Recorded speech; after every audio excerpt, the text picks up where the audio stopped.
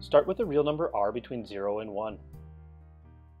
Draw an infinite vertical line connected to a horizontal line of length given by the sum of the positive powers of r, which is a geometric series and thus converges to a finite value.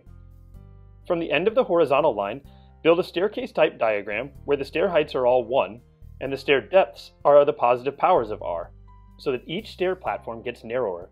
This object has been called Gabriel's staircase. It has an infinite perimeter but encloses a finite area. Let's compute the enclosed area in two ways.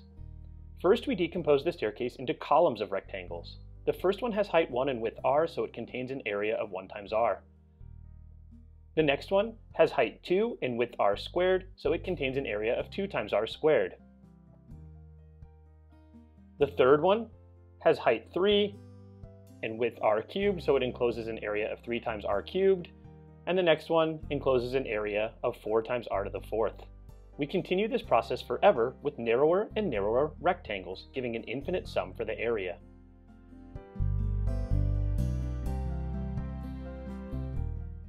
We can also decompose the staircase into rows of rectangles.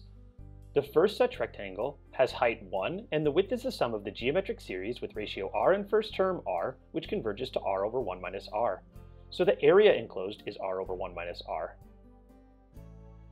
The second rectangle also has height 1, and this time the width is the geometric series with ratio r in first term r squared, which converges to r squared over 1 minus r, so that the area is r squared over 1 minus r. The next two rectangles are also of height 1 and widths of geometric series, and thus they enclose areas of r cubed over 1 minus r and r to the fourth over 1 minus r. We again continue this process forever with smaller and smaller rectangles giving a different infinite sum for the area. These two infinite sums can be shown to both converge to a finite value because r is between 0 and 1.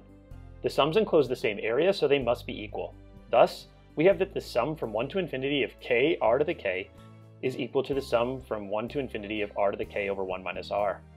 But we can factor 1 minus r out of the latter sum, leaving us with the geometric series with ratio r and first term r again, which we know converges to r over 1 minus r. Thus the sum from 1 to infinity of k times r to the k is equal to r over the quantity 1 minus r squared, provided r is between 0 and 1.